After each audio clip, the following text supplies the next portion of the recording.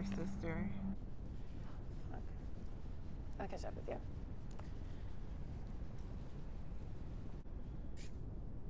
What are you doing here?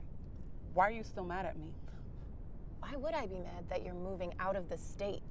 I'm not going for long, T. You didn't even tell me you were going, Nancy. And besides, it's not about New York. It's about you breaking your promise. You're a fucking liar. Wait a second. I didn't lie to you about anything.